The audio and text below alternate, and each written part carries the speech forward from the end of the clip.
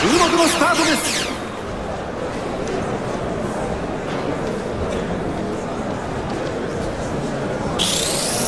シグナルに注目。東大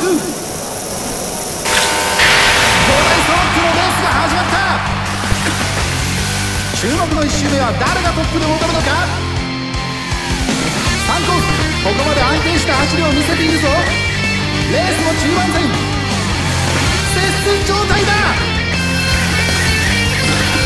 周目に突入。気の抜けない展開になってきた。ラスト1周。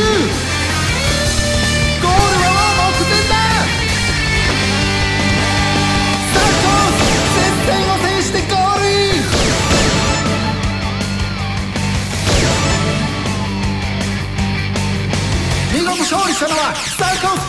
おめでとう。